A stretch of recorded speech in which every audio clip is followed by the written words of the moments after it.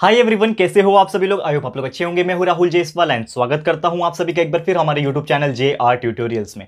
Friends आज again आपके सामने एक मोस्ट इंपॉर्टेंट पॉलिटिकल साइंस का लेक्चर वीडियो लेकर आ चुका हूँ दोस्तों, जिसमें आज के दिन हम लोग पढ़ने वाले हैं हमारे नाइन्थ स्टैंडर्ड के लिए पॉलिटिकल साइंस सब्जेक्ट का, जो चैप्टर नंबर टू है, एक नए चैप्टर की शुरुआत करने जा रहे हैं, जिसका नाम है इंडिया फॉरेन पॉलिसी तो आज हम पढ़ने वाले हैं इस चैप्टर का लेक्चर नंबर वन तो दोस्तों, जैसा कि आप जानते हैं यार, इसके पहले का भी जो चैप्टर है, हमने कंप्लीट कर लिया है। आपको एक रिक्वेस्ट में बोल रहा हूँ कि यार प्लीज़ प्लेलिस्ट को चेक कर लो, क्योंकि प्लेलिस्ट में हमने बाकी जितने भी स्टैंडर्ड है, बाकी जितने भी सब्जेक्ट्स है, उसके वीडियोस अपलोड करके रखे हुए हैं। आपको बस जाके हमारे चैनल के अंदर घुसना है। एंटर होना है और जस्ट वीडियो सेक्शन के बाजू में एक प्लेलिस्ट का सेक्शन होता है, उसमें थोड़ा सा स्क्रॉल करने की ज़रूरत है। फाइव टू टेन सेकंड्स लगेंगे आपको स्क्रॉल करने में और आपको अपना मनचाहा वीडियो जो भी चैप्टर्स का चाहिए वो मिल जाएगा। तो please check it out and साथ ही में हमारे दो और चैनल है यूट्यूब के ऊपर, जिसका नाम है J R Talks career guidance के लिए और जे आर ब्लॉग्स ब्लॉगिंग के लिए। तो प्लीज़ जाके देख लेना चैनल पसंद आएगा तो सब्सक्राइब ज़रूर से कर लेना। ठीक है? तो चलिए शुरुआत करते हैं। देखो, ये चैप्टर का नाम आप देखोगे इंडिया फॉरेन पॉलिसी तो सबसे पहले इंपॉर्टेंट चीज़ ये होता है कि ये समझना पड़ेगा कि ये फॉरेन पॉलिसी जो वर्ड है, ये एग्जैक्टली है क्या? अब फॉरेन पॉलिसी की अगर हम बात करें, नाम से ही थोड़ा बहुत आइडिया मिल जाएगा that is the word is foreign here foreign का मतलब होता है आउट ऑफ़ कंट्री यानी कि अगर हम इंडिया वासी है मतलब इंडिया के रहने वाले लोग हैं तो हमारे लिए जितने भी दूसरी कंट्री है, वो क्या हो जाएगी? हमारे लिए फॉरेन कंट्री हो जाएगी. करेक्ट है? ये सभी आप एग्री करते होंगे. तो और ये पॉलिसी का मतलब क्या होता है कि एक ऐसा डील होता है कहीं ना कहीं एक एग्रीमेंट बनाया जाता है, एक पॉलिसी बनाया जाता है, जैसे कि हम बहुत सारी चीज़ें पॉलिसी के तौर पे लेते हैं, ठीक है ना? हम जो हमारा लाइफ इंश्योरेंस लेते हैं, हम बहुत सारे ऐसे टर्म इंश्योरेंस लेते हैं। ऐसे बहुत सारे पॉलिसीज़ हम लेते हैं। जब बड़े हो जाते हैं, आप लोग भी बड़े हो जाओगे। जैसे मैंने यहाँ पे अपना टर्म इंश्योरेंस हेल्थ इंश्योरेंस ये सब अलग अलग टाइप के इंश्योरेंस हम लेते हैं। तो वो क्या होता है? एक तरीके का पॉलिसी होता है। हम एक डील साइन करते हैं कि अगर बाई चांस मेरी हेल्थ खराब हो गई, मैं कहीं पर भी एडमिट होंगे हॉस्पिटल में तो जो खर्चा होगा वो कौन पे करेगा? वो कंपनी पे करेगी। ठीक है ना? बदले में मुझे क्या देना पड़ेगा? प्रीमियम देना पड़ेगा हर साल का। तो it is just a fact ये तो चलो एक एक्स्ट्रा नॉलेज मैंने आपको दे दिया। बड़े होने के बाद हेल्थ इंश्योरेंस अपने फादर मदर का और अपना ज़रूर से ले लेने का। ठीक है? चलो, ये तो बात हो गई। तो सेम उसी प्रकार फॉरेन कंट्रीज़ के साथ जो भी कंट्री रहेगी, उसका एक पॉलिसी होता है, उसका एक एग्रीमेंट साइन होता है। उसी को हम लोग सिंपल लैंग्वेज में क्या बोलते हैं? फॉरेन पॉलिसी बोलते हैं। ठीक है? अब ये तो बात समझ में आ गई। What do mean by foreign policy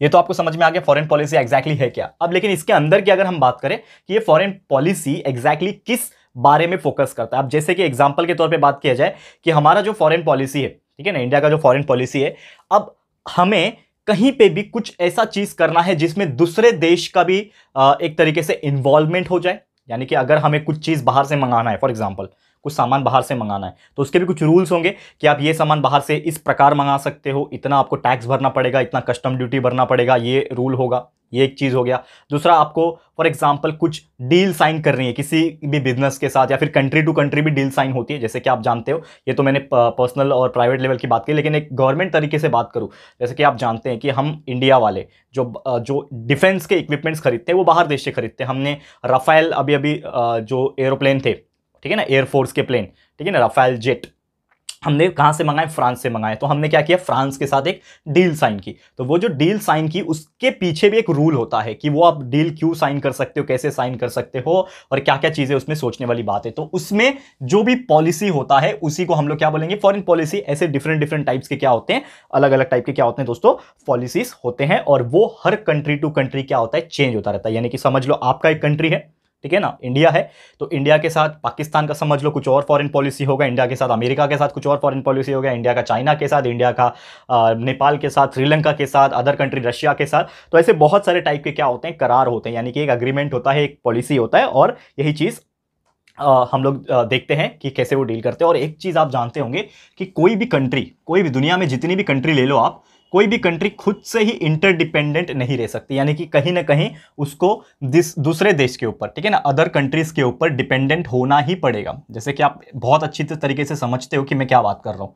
ठीक है, जैसे कि कोई भी कितना भी अच्छा एडवांस कंट्री क्यों ना होने दो उसमें कुछ ना कुछ कमियाँ होती है। या, यानी कि मतलब कुछ ऐसी चीज़ होती हैं जो उस कंट्री में नहीं मिलती होगी। जैसे कि एग्जांपल के तौर पे यार कि हमारे पास पेट्रोल डीजल ज़्यादा नहीं है। तो हम क्या करते हैं? ज़्यादा है ही नहीं कि मतलब ना के बराबर ही है। तो हम क्या करते हैं? जो गल्फ कंट्री है या फिर पूरा देश ही क्या करता है? पूरा वर्ल्ड क्या करता है? जितने भी गल्फ कंट्रीज़ होते हैं जैसे कि आपका यू हो गया ठीक है ना? ये ईरान इराक हो गए। इसमें क्या है? बहुत सारे ऑयल है। ऑयल के खदान बोलते हैं हम लोग गल्फ कंट्रीज़ को। तो गल्फ कंट्रीज़ में तेल बहुत है पेट्रोल डीजल तो जितने भी कंट्री से वो पेट्रोल डीजल वहाँ से खरीद के लाते हैं, मंगवाते हैं और वो उस कंट्री में आता है। जैसे कि हम इंडिया वाले के अंदर, हमारे देश में क्या नहीं है, हमारे देश में पेट्रोल डीजल नहीं है। तो हम क्या करेंगे, किसी और के ऊपर डिपेंड हो जाएँगे पेट्रोल डीजल के अंदर। अब हो सकता है हमारे देश में शक्कर बहुत है। चीनी चीनी जो खाते हो ना आप, शक्कर, मीठा। तो हो सकता है किसी दूसरे कंट्री में शायद वो शक्कर ना मिलता हो ज़्यादा या फिर उगता ही नहीं होगा शुगर केन उगता ही नहीं होगा।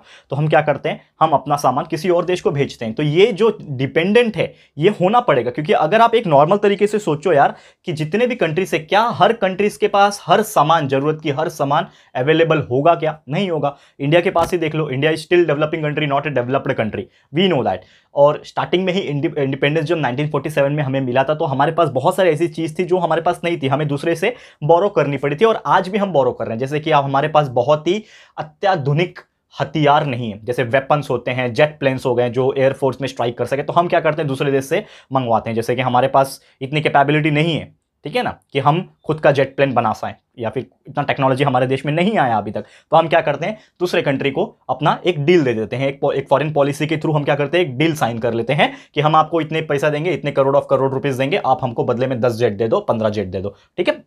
तो बनाने का काम किसका हो गया? दूसरे कंट्री का हो गया। उनको क्या मिल रहा है? बदले में पैसा मिल रहा है। तो ये क्या हो गया? एक तरीके से व्यापार हो गया। लेकिन व्यापार के पीछे भी कुछ रूल्स थे, कुछ पॉलिसी थे, कुछ नियम थे तो वो सब कवर हो जाते हैं किसके अंदर? फॉरेन पॉलिसी में। और विदाउट फॉरेन पॉलिसी हम कोई भी काम दूसरे कंट्रीज़ के साथ नहीं कर सकते। फॉरेन पॉलिसी होना ज़रूरी है और फॉरेन आप जानते होंगे फॉरेन पॉलिसी के पीछे बहुत बड़ा योगदान होता है। बहुत सारे मिनिस्टर्स का बहुत सारे रूल्स एंड रेगुलेशन जो बनाए गए हैं, उसके हिसाब से हर एक को फॉलो भी करना होता है। और हर कंट्री जो है, वो ये चाहती है कि जो दूसरे दूसरे कंट्रीज़ है, वो उसके साथ एक फ्रेंडशिप मेंटेन करके रखे। क्योंकि यार, हम हर कंट्रीज़ को अपने दुश्मन नहीं बना सकते ना। अगर वो बोलेगा कि मुझे आपका फॉर एग्ज़ाम्पल शक्कर चाहिए, ठीक है? तो हम बोलेंगे, नहीं, मैं नहीं दूँगा। तो क्या हो जाएगा, वो उसको गुस्सा आ जाएगा, उसको अच्छा नहीं लगेगा। तो हम क्या कर सकते हैं, जितना हो सके हम प्रोवाइड करते जैसे कोविड नाइन्टीन के टाइम क्या हुआ था, ठीक है ना हाइड्रोक्सी क्लोरोक्विन एक टैबलेट होता था, ठीक है ना तो वो अमेरिका ने डिमांड किया, बाकी कंट्रीज़ ने डिमांड किया तो हमने एकदम दोस्ती का हाथ बढ़ाते, हमने अपना प्रोडक्शन हाई कर दिया इंडिया वाले ने। जितने भी फार्मास्यूटिकल कंपनीज़ थी, माफ़ कीजिएगा उन्होंने अपना प्रोडक्शन हाई कर दिया और अमेरिका वाले को भेज दिया। तो इससे क्या हो गया, कहीं ना कहीं हमारा एक रिश्ता मज़बूत हो गया कि यार ज़रूरत पड़ने पे हमने उनकी मदद की है। तो ये सभी चीज़ें जो है इस फॉरेन पॉलिसी के थ्रू आ जाती है क्लियर है? और जितने भी इंडिपेंडेंट कंट्री होती हैं, जितने भी खुद की गवर्नमेंट वाली सोवरेन कंट्रीज़ जिसको हम लोग बोलते हैं जिसकी खुद की गवर्नमेंट होती है तो हर कंट्रीज़ यही चाहती है कि एक अच्छा रिलेशनशिप मेंटेन रहे हर अदर कंट्रीज़ के साथ। इसीलिए ये फॉरेन पॉलिसी बहुत ज़्यादा इंपॉर्टेंट भी हो जाता है। क्लियर है दोस्तों? तो उम्मीद करता हूँ कि ये चीज़ आपको समझ में आ गया होगा। What do you mean by foreign policy clear है? अब ये फॉरेन पॉलिसी किस लिए हमें काम आता है ये भी हम लोग थोड़ा सा देख लेते हैं। फॉरेन पॉलिसी की अगर हम बात करें तो इसके बहुत सारे आ, बोलते हैं ना यूज़ है लेकिन इसका यूज़ सबसे ज़्यादा नेशन के लिए किया जाता है यानी कंट्री के लिए किया जाता है। ऑब्वियसली आप सभी जानते हैं तो इसके लिए हम पढ़ेंगे नेशनल इंटरेस्ट ठीक है? नेशनल इंटरेस्ट क्या है?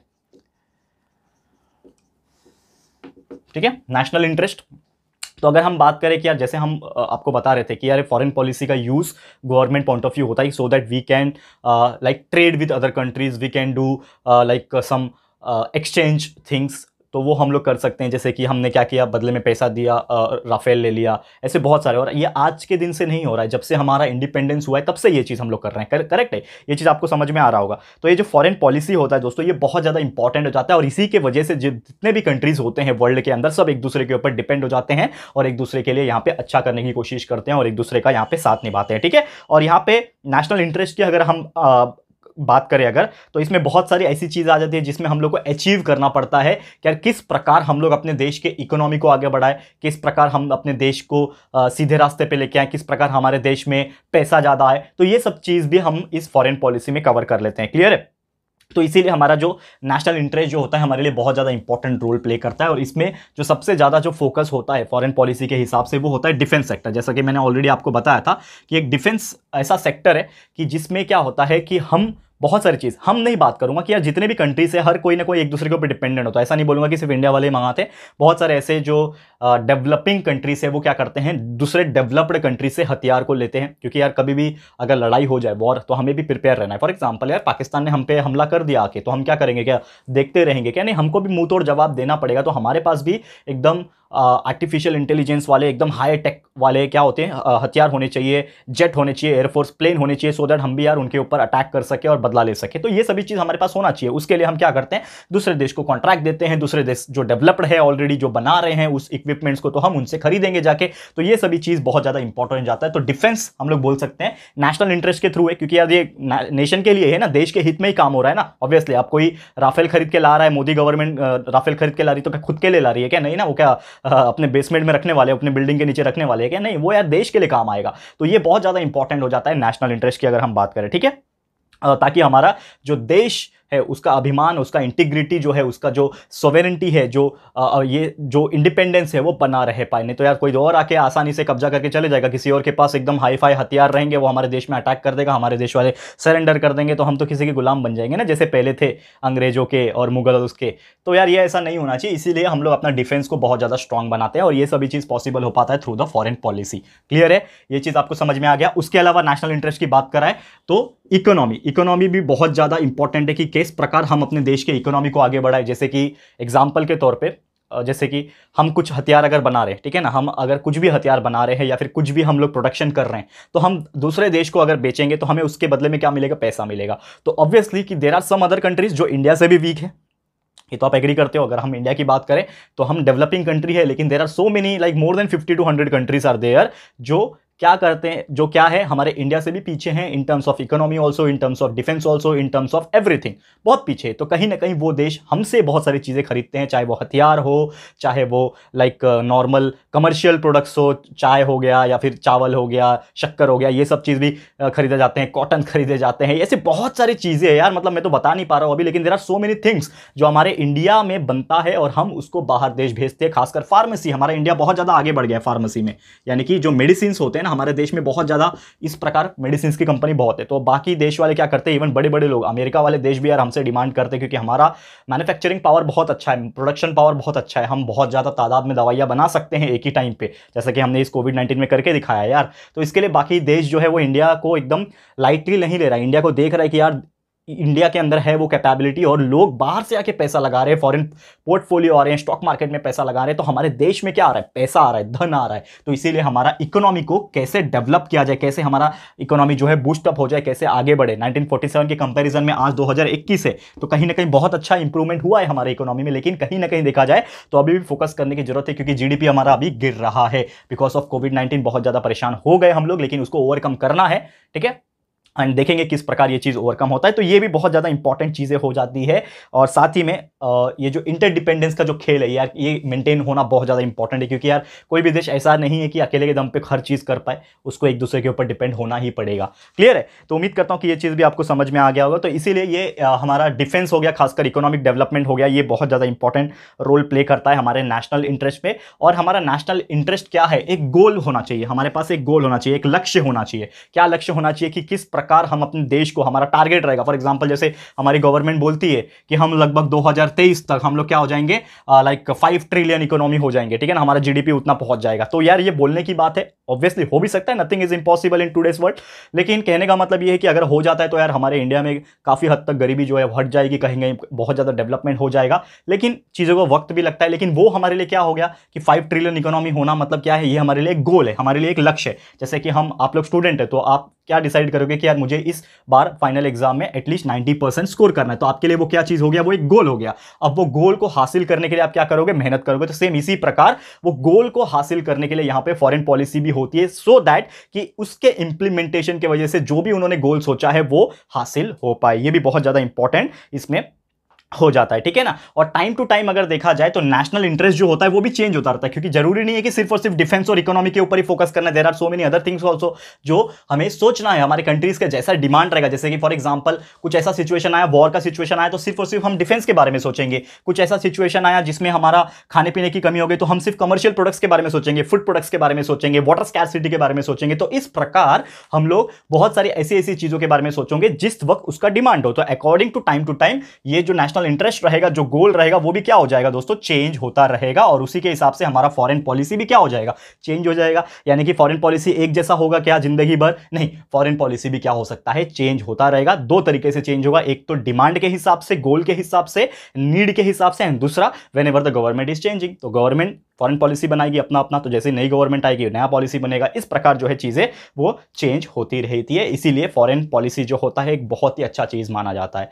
क्लियर है दोस्तों? तो उम्मीद करता हूँ कि ये चीज़ आपको समझ में आ गया होगा। तो यही फॉरेन पॉलिसी है, इसमें बहुत सारे ऐसे फैक्टर्स आ जाते हैं जो उसको इन्फ्लुएंस करते हैं। तो क्या क्या ऐसे फैक्टर्स है फॉरेन पॉलिसी को इन्फ्लुएंस करने के लिए? ये सभी चीज़ हम लोग डिस्कस करेंगे, लेकिन आज नहीं दोस्तों, इसको हम लोग लेकर आएँगे आपके लिए लेक्चर नंबर टू फटाफट से लेकर आ जाएँगे लेक्चर नंबर टू जिसमें हम लोग आगे की चीज़ डिस्कस करेंगे। तो आज का वीडियो यहीं पर मैं समाप्त करता हूँ और उम्मीद करता हूँ कि आपको यह हमारा वीडियो बहुत ही अच्छी से समझ में आ गया होगा। ठीक है दोस्तों तो आज का वीडियो इतना ही था। ये वीडियो आपको कैसा लगा है, प्लीज़ हमें कमेंट करके बताइएगा। अपनी राय और सजेशन ज़रूर से दीजिएगा। वीडियो अगर पसंद आया है अच्छा लगा है दोस्तों तो प्लीज़ वीडियो को लाइक कीजिएगा। शेयर ज़रूर से कर देना। अपने सारे फ्रेंड्स एंड रिलेटिव्स को फटाफट से शेयर कर देना दोस्तों। एंड अगर आपने अभी तक इस चैनल को सब्सक्राइब नहीं किया है तो फटाफट से हमारे चैनल को भी सब्सक्राइब कर देना। साथ में एक बेल आइकन होता है, उसको प्रेस कर देना। प्यार से प्रेस करना दोस्तों वन टाइम खाली प्रेस करना, ताकि जब भी हम लोग फ्यूचर में वीडियोस को अपलोड करेंगे तो आप लोग को नोटिफिकेशन मिलती रहेगी। ठीक है फ्रेंड्स तो मिलते हैं हमारे अगले वीडियो में ये वीडियो देखने के लिए thank you and good bye